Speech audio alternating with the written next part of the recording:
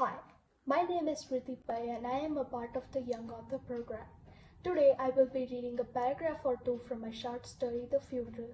This story is about a man named John who is attending the funeral of his foster mother. I will be reading the part where he goes to her house to reminisce about the past. He walked to his old house and opened the door. It was still the same after all these years.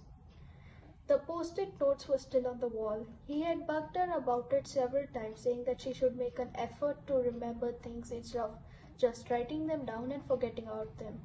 Suddenly, his phone rang. It was his friend Mario.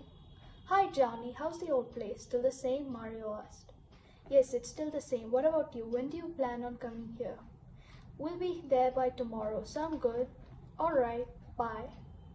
John hung up and entered his room. She hadn't changed anything. Everything was still in place. He wandered through the other rooms and they were a mess. His foster mother couldn't be bothered to clean and he was the one who used to do all the cleaning. He sighed. It looked like his work was cut out for him. Thank you for uh, listening to me read my short story.